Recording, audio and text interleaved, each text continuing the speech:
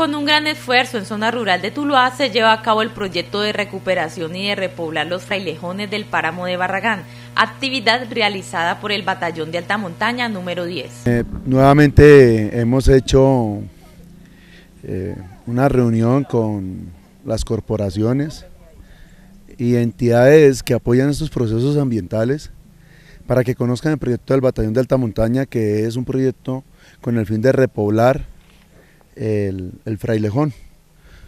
Una situación muy importante ya que el frailejón eh, garantiza las fuentes hídricas de, de los páramos. Según los militares, aunque el proceso es un poco lento y puede tardar algunos años, lo importante es empezar y brindar conciencia ambiental a toda la comunidad. El proceso nos toma aproximadamente dos años y medio, que inicia desde la toma de las semillas en, en campo,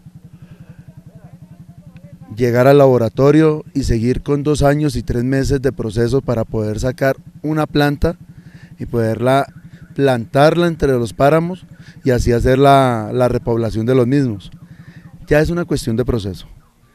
Y pues desafortunadamente aún estamos en el tema de concientizar las personas lo más importante para seguir impulsando este proyecto ambiental es la realización de un laboratorio más grande para suplir todas las necesidades en beneficio de la repoblación de los frailejones.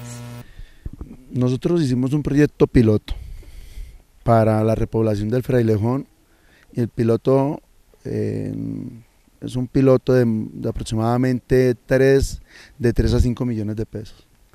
Pero para poder hacer una afectación ambiental significativa, eh, necesitaríamos alrededor entre 30 y 50 millones de pesos para poder lograr eh, realizar un, un, laboratorio que nos dé las necesidades que necesitamos cumplir, que nos dé las, las metas para las necesidades que tiene el páramo.